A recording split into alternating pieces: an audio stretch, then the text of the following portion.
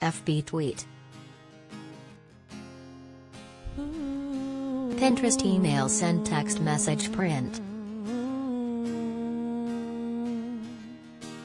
The Masked Singer's first double elimination of the season took out two heavy hitters. Panelists Ken Jeong, Jenny McCarthy, Nicole Scherzinger and Robin Thicke weighed in on who would make it to the finals. Thingamabob from Team Cuddly started off the night. Looking back on my childhood, my family didn't have much, but we had each other, Thingamabob said in his clue package. The package showed a cowboy hat, a kangaroo, a wrecking ball and a bull on luggage and also revealed that Thingamabob didn't have his family's support when he pursued his dreams. My siblings even stopped talking to me, the fuzzy green creature shared. Thingamabob delivered a fun cover of MTKO's classic. What I do for my job, not everybody would think that I could do this and Terry's so much more to me than meets the eye, Thingamabob told host Nick Cannon of why he'd want to advance to the finals. The judges guessed Thingamabob could be actors Liam Hemsworth or Jason Momoa or former NBA player Dennis Rodman. Then, Team Bad Cyclops followed up. I was going through some stuff, feeling kind of down in the dumps, but then I received the best message ever, Cyclops recalled in his clue package. It had me smiling with the best of them. My favorite musician wanted to feature me on their new album.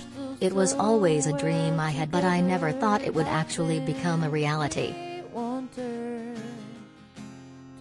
The video also included a glass of milk, a podcast, a lottery ticket and the statue of David. The One-Eyed Monster brought the energy with Flashdance, What a Feeling, by Irene Cara. Now that I'm here, there are no words, Cyclops said of being on the show.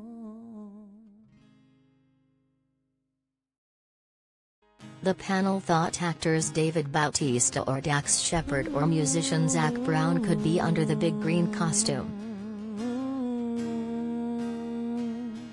Next, Firefly represented Team Good. I've never been one to shy away from the spotlight, Firefly said in their clue package that showcased a photo of Kanye West, a fire alarm, two skateboards and dynamite sticks. Even as a young Firefly, I loved to dress up in my mom's clothes and entertain my imaginary audience. Firefly recalled performing for their neighbors growing up. It was one of those neighbors who got me my first real gig, the insect said, alluding to a modeling job.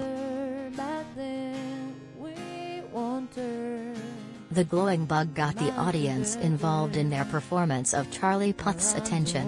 She's going all the way, Scherzinger, 43, said.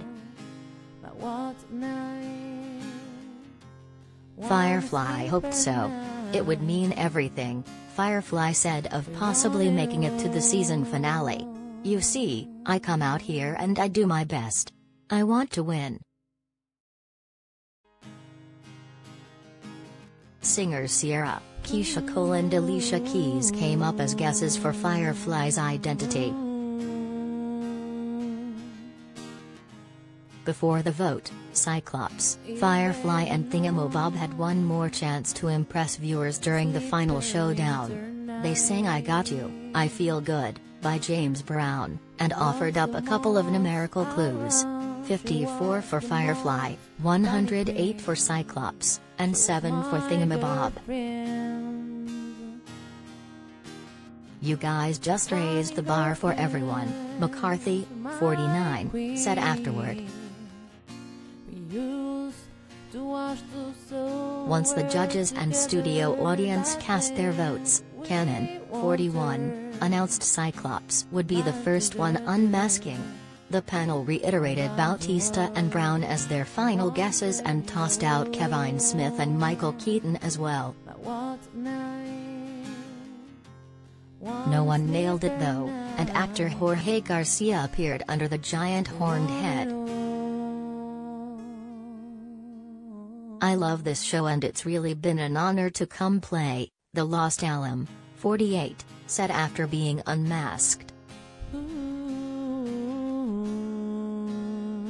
Next, Cannon revealed that Firefly would advance to the finals, meaning Thingamabob would be going home.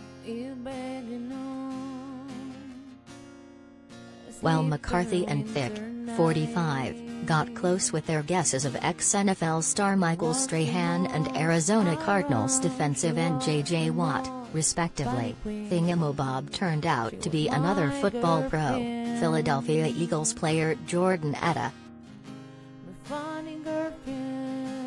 I was a singer first before any sort of athlete, the Australian native, 24, said.